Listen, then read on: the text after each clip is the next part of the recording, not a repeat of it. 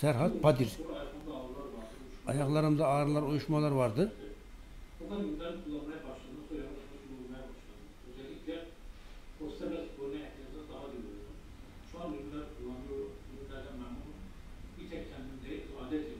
Vay canına. Çok güzel bir şey söyledi bu adam ya. Keratokonos. Keratokonos nedir? Şu gözün önündeki nasıl ki saatin camındaki ön camı gibi saatin üstünde bir cam var koruyucu. Gözün önünde de gözün üstünde hemen bir eee kornea var. Kornea. Buna şeklini bozulması, deforme olması, şöyle dışarı bombeleşmesine keratokonos denir. Keratokonos. Ameliyat olması gerekiyormuş. Ameliyata gerek kalmamış. Bir de bacaklarından dolayı ameliyat olması gerekiyormuş. Ona da gerek kalmamış. Vay canına. Mükemmel bir şey. La ilahe illallah Muhammed Resulullah.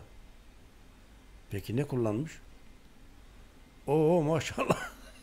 Bütün ürünleri evet, bu kadar ürün kullanırsan dedem değil eşiz. Çok ürün kullanmış. Ve burada zencefil var. Meşe mix var. E, aloe vera var. Spirulina, söğüt, kortisep, yaban mersini, hamamelis, ormus kot, ormus gemese. O maşallah. Tabii ki iyileşirsin. Hiçbir şey kalmaz. Adam 10 çeşit ürün daha da fazla. La ilahe illallah Muhammed Resulullah. Çok güzel. Ayaklarımda ağrılar, uyuşma vardı. Ameliyat olmam gerekiyordu diyor. Ameliyata gerek kalmadı. Keratokonos vardı. Korneanın bombaleşmesi. Hamdolsun hiçbir şey kalmadı. Korneanın bombaleşmesi. Buna ameliyatla bu korneayı alıyorlar bombaleşen yere. Oraya bir kornea naklediyorlar. Ölülerin, ölen insanların gözünden alıyorlar. Tabii riskli bir ameliyat tabii ki o kolay bir ameliyat değil. Göz nakli diyorlar buna. Aslında göz nakli gözün tamamen çıkıp yerine yeni göz takılması.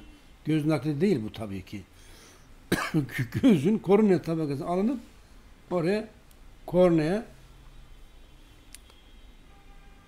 implant yani yapılması. Evet, bombeleşen korneanın tekrar normale dönmesi. İnsanlık tarihinde en doğal yolla, en met- kolay metotla iyileştiren adam. Kim? Gökçek. La ilahe illallah Resulullah. Aman ha. Kibire gururla kapırıp da havalara girmeyelim. Yoksa Allah bazılarını nasıl cezalandırdı? Adam şunu derim bunu derim diyordu. Hiçbir şey yapmadığı halde. Bizim gibi değil tabi.